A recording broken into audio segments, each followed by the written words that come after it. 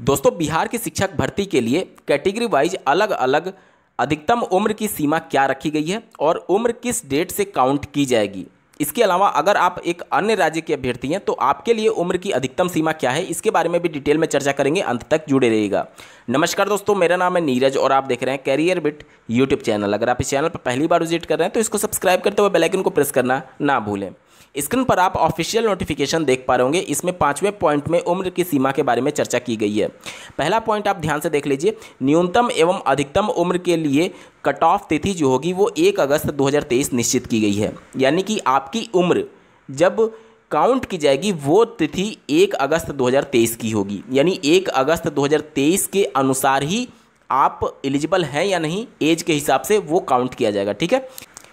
चलिए, अब बात कर लेते हैं न्यूनतम उम्र सीमा क्या है। तो देखिए, प्राथमिक विद्यालयों के लिए न्यूनतम उम्र सीमा 18 वर्ष तय की गई है।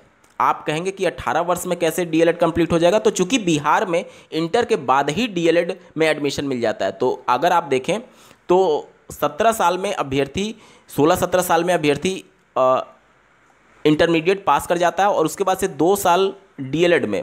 यानी कि 18 साल में वो डीएलएड कंप्लीट कर चुका होगा या फिर फाइनल ईयर में होगा। इसलिए न्यूनतम उम्र सीमा प्राथमिक विद्यालय के लिए 18 वर्ष तय की गई है।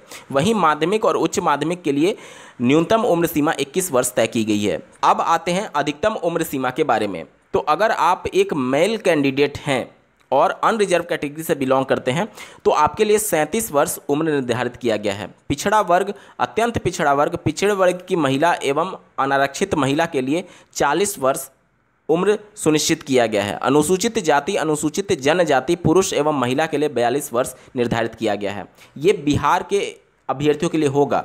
अगर आप बिहार के बाहर के अभ्यर्थी हैं तो चूँकि आप अनरिजर्व में काउंट होंगे तो उसके लिए आपकी अधिकतम उम्र जो होनी चाहिए, वो सैंतीस वर्ष होनी चाहिए। यानी कि एक अगस्त 2023 को आपकी उम्र सैंतीस वर्ष से ज़्यादा नहीं होनी चाहिए। अगर सैंतीस से कम है तो आप आवेदन करने के लिए पात्र होंगे अन्य राज्य के अभ्यर्थी। मैं फिर से एक बार रिपीट कर रहा हूँ, बिहार बिहार के अलावा जितने भी राज्य हैं, सभी राज्यों के अभ्यर्थी जिनकी अधिकतम उम्र एक अगस्त 2023 को सैंतीस वर्ष से कम है तो आप आवेदन करने के लिए पूरी तरीके से पात्र होंगे। अगर सैंतीस वर्ष से ज़्यादा है तो आप आवेदन नहीं कर सकते हैं। उम्मीद करता हूँ आपके सभी डाउट्स क्लियर हो हुए होंगे। बावजूद इसके अगर आपका कोई प्रश्न रह जाता है तो कमेंट के माध्यम से पूछ सकते हैं। इस वीडियो को देखने के लिए आपका बहुत बहुत धन्यवाद। भगवान करे आपका दिन शुभ हो।